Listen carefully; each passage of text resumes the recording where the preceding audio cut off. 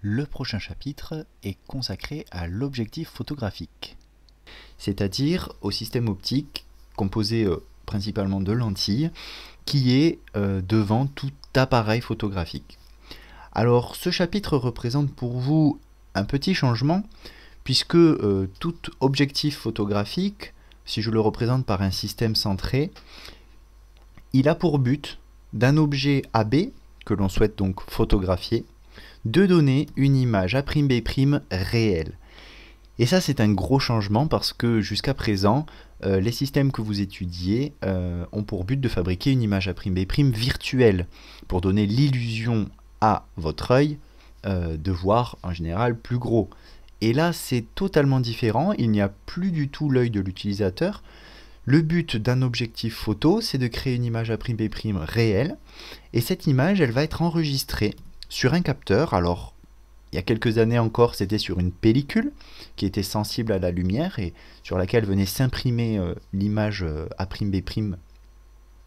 Alors que maintenant, c'est plutôt des capteurs CCD euh, qui sont constitués, comme vous l'avez déjà entendu dire, je pense, de plusieurs millions de pixels qui enregistrent eux aussi la lumière correspondante à A'B'. Donc euh, des objectifs pour vous donner un ordre d'idée, si vous allez sur le site d'Apple et que vous regardez l'iPhone 6, eh bien il vous montre euh, toutes les lentilles que vous voyez ici, qui constituent l'objectif photographique, qui vont être capables de donner, euh, de photographier un objet et de créer une image A'B' sur le capteur qui est juste derrière.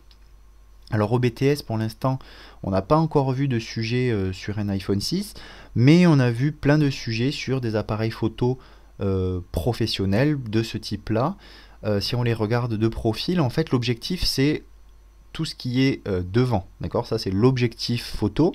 il est d'ailleurs dans ces appareils photo-là interchangeable. On peut avoir à la maison plusieurs objectifs photo en fonction du style de photographie que l'on veut faire. Et la lumière, elle est collectée à la fin sur le capteur qui, lui, est dans le gros boîtier. Et lui, on n'en a qu'un en général vu le prix. Euh, voilà. J'insiste sur le fait que du coup, l'objectif photo, ce ne sont, ce n'est que l'élément qui est devant le capteur. Et c'est ça qu'on étudie en OG dans un sujet d'OG, euh, d'objectif photo. Je profite aussi pour vous rappeler euh, la notion de pixel rapidement. donc quand vous prenez en photo quelque chose, ce quelque chose, la lumière de ce quelque chose vient se mettre sur euh, le capteur qui est au fond de l'appareil photo. Donc ce capteur, on le voit euh, ici. Et ce capteur, il est donc constitué de millions euh, de pixels. 12 mégapixels, par exemple, c'est 12 millions de pixels. Donc vous imaginez à quel point ces pixels sont petits. Et ces pixels, ils vont être capables en fait d'enregistrer la lumière qui leur parvient. chacun d'entre eux va s'éclairer d'une certaine couleur et euh, c'est la mosaïque de tous ces pixels qui va euh, euh, enregistrer l'image.